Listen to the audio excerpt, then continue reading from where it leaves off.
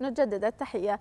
زار سمو الشيخ مكتوم بن محمد بن راشد المكتوم نائب حاكم دبي صباح اليوم معرض ومؤتمر الدفاع الدولي ايدكس 2015 في العاصمة أبو ظبي في اليوم قبل الأخير من إسدال الستار على فعاليات هذا الحدث العالمي الذي حظي باهتمام ومتابعة وسائل الإعلام المحلية والعالمية والمراقبين الدوليين نظرا لموقعه المرموق على خارطة المعارض والمؤتمرات الدولية المتخصصة في أنظمة الدفاع والأمن الأمن المتطورة في العالم. وتجول سموه في مختلف أرجاء المعرض يرافقه سعادة اللواء خميس مطر لمزينة القائد العام لشرطة دبي وسعادة اللواء الدكتور عبيد الحيري الكتبي رئيس اللجان العليا المنظمة لأيدكس.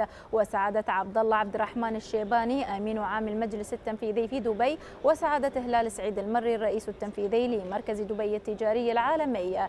حيث اطلع سموه سمو نائب حاكم دبي على الأجهزة والمعدات وتقنيات الدفاع الدفاعية والصناعة العسكرية التي تمثل نحو 1200 شركة وطنية وعالمية. حضرت من 70 دولة حول العالم كي تعرض آخر ما انتجته مصانعها من معدات وتقنيات وأنظمة إلكترونية دفاعية متطورة.